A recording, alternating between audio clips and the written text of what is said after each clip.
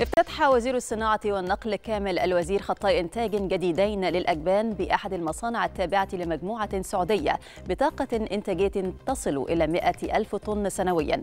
هذا وأكد الوزير على أهمية ما تقوم بإنتاجه الشركة من مواد أغذية أساسية وضرورية في حياة المواطن مثل الألبان والأجبان حيث تنتج الشركة أكثر من 100 منتج وبحجم استثمارات يصل إلى 6 مليارات جنيه. كما تبلغ نسبة المكون المحلي 70% ويصل حجم الصادرات إلى 35 مليون دولار سنويا فضلا عما توفره الشركة من فرص عمل تصل إلى 5550 فرصة عمل مباشرة وغير مباشرة بالإضافة إلى تطوير أكثر من 100 مزرعة تنتج سنويا 200 ألف طن ألبان.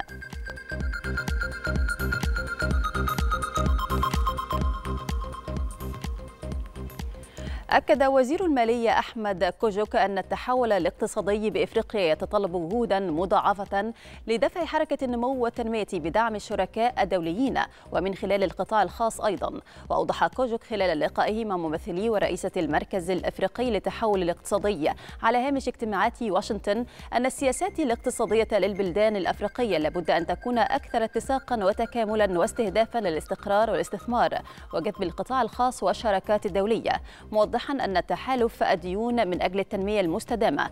يستهدف خلق مساحة مالية تلبي الطموحات التنموية والمناخية بالدول الأفريقية والناشئة.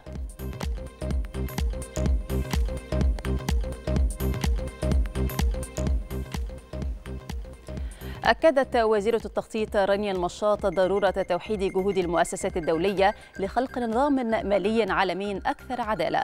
وفي كلمتها بالاجتماعات الوزارية لمجموعة الأربعة والعشرين ضمن فعاليات اجتماعات صندوق النقد والبنك دوليين شددت المشاط على ضرورة وضع حلول مبتكرة للتحديات التي تواجهها الدول النامية بشكل يراعي ظروف كل دولة.